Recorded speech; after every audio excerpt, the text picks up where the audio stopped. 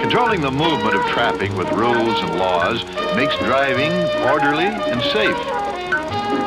Ignoring or breaking rules is doing the unexpected, and suddenly you become a threat to others.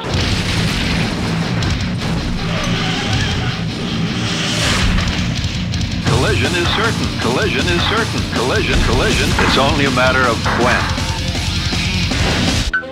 As long as everyone follows the rules and is considerate of others, we can relax and enjoy driving. Enjoy driving, enjoy driving, enjoy driving. Without rules, the unexpected can be trouble.